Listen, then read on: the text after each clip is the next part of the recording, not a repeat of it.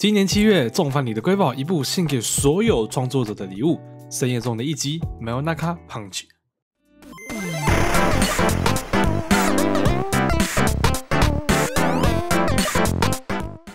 大家好，我小林，今天要推的是一部由 PA 制作的原创作品《深夜胖剧》。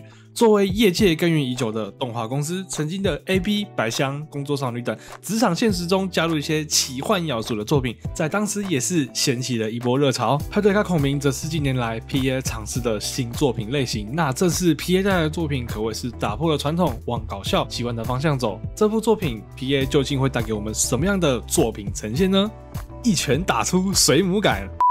OK，先不做这方面的揣测。《深夜胖曲》是一部由时下最流行的影音串流平台 YouTuber 结合吸血鬼题材的奇幻冒险故事。环绕在主角们身旁的是一个个性开朗、实力兼具的大姐头利布，还有贤妻美子、超赌徒石井，跟害羞内向的杨巅峰，最后是正常发挥的拉拉蒂娜雪。做了第一集就扁人一拳的超人类 Misaki，你们就不好奇这群家伙凑在一起到底会蹦出什么新花样吗？故事开头讲述作为 YouTuber Misaki 与他的高中小伙伴啊，因为在直播中扁了小伙伴一拳而遭到延上啊，这人看起来挺欠扁。然后看了道歉直播又冲回去准备再扁同伴一拳，不过好拳不能扁两次。比赛可以回到租屋处直言啊，气话是我在想，影片是我在录，剪辑也是我在搞，宣传也是老娘我在用，没有我你们绝对活不起来的。啪，关门离去，还真的只有想到你自己呢。风川真笑，果然还是要这样才有流量呢。顶着这波流量，Misaki 迅速冲上二楼开直播，打算以个人名义复出。网络乡民连珠炮式的轰炸与谩骂，具体化缠绕在米萨克身旁，乡民的键盘果然不饶人啊！接连的面试环节基本上都是冲着米萨克变人的话题而来，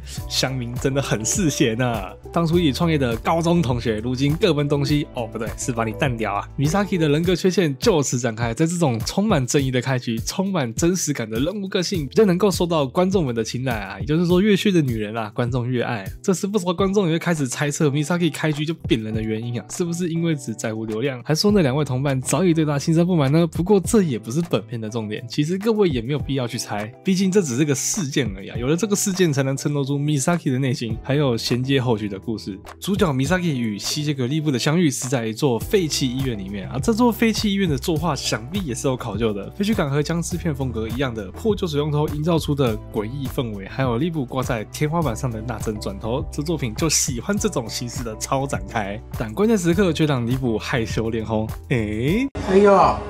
你脸红了，这就是吸血鬼遇到真命天子的样子吗？马萨克在逃跑的途中也是一路吐槽啊。不过这马萨克脑筋也是动得很快，立刻就提出合作啊。真不愧是前计划鬼才，马上就开始构思复仇大计，场面异常热血。如果剧情就真的演成这样，马萨克带着那群吸血鬼飞天遁地，做一些平常人做不到的事情博眼球，从而获得百万订阅，成为大 YouTube，那你就太小看这部作品啦。这时一名红毛就突然降临到晚辈庄，这气场很明显跟这。四个疯子不太一样，你们他喵的过得太顺遂了，这样搞就当上百万 YouTuber，那我们制作组要怎么做接下来的剧情？所以这帮吸血鬼投资就下令啊，把频道截掉吧！哇哦，你们这四个疯子还有老大，那老大得多疯啊！作为老大的贴身侍卫，原以为他会有什么骚操作啊，结果被马萨克喂了一口大蒜呢。嗯，你是拉拉蒂娜吧？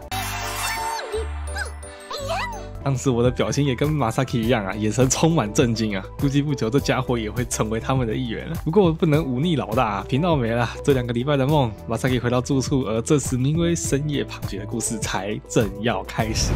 这部作品在玩梗上也丝毫不逊色，因为本身就是原创番，观众甚至没办法预测下一个爆点在哪里。不过制作组是把能塞爆点的地方通通塞满了啊，就是怕观众会感到冷场。无论是人物设计，还是声优的选定，甚至到整体剧情的把控，都相当新奇。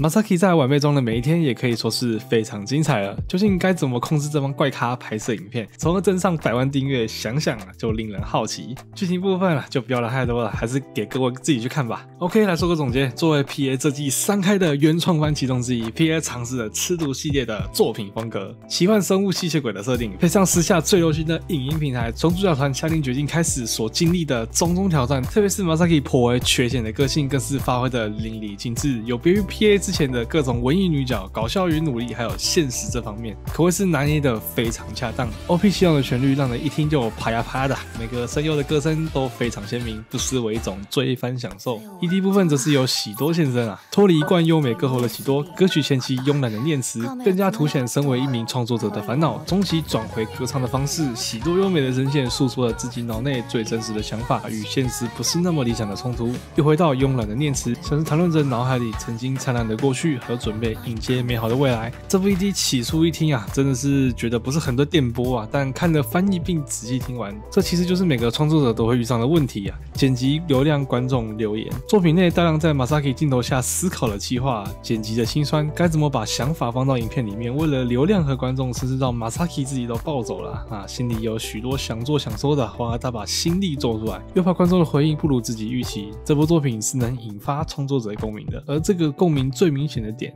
就是 ED 的编辑点。那今天短评就到这里结束了。这是 P A 带来的原创作品《深夜胖甲》，真的是非常推荐各位打开来看，绝对不会让你失望的。我是小林，希望你们会喜欢这次的作品。喜欢的话，还请订阅、分享、追踪、开启小铃铛，第一时间接受我的上片通知。那么我们下一个影片再见喽，拜拜。